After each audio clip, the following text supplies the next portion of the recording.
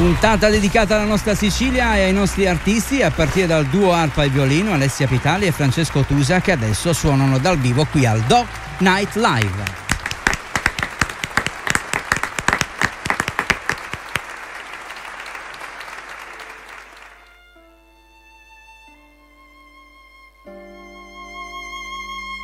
thank